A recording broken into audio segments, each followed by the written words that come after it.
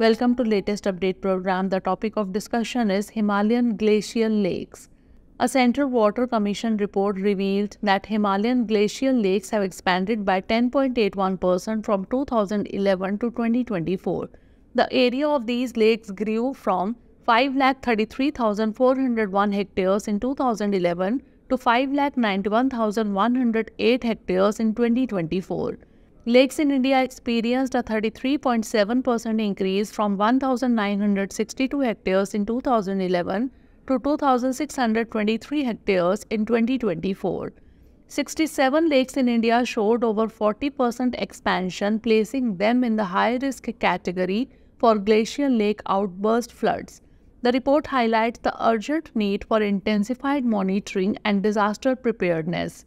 Causes and consequences of lake expansion. Climate change and rising temperatures have accelerated glacier melting, leading to lake expansion.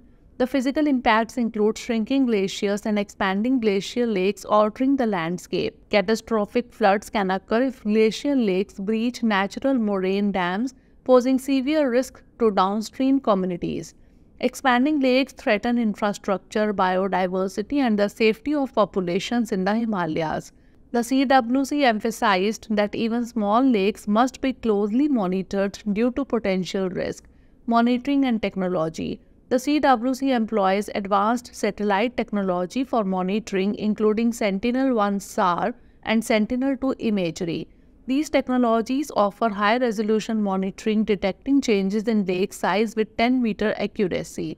All weather monitoring capabilities ensure data collection even under cloud cover, allowing timely updates.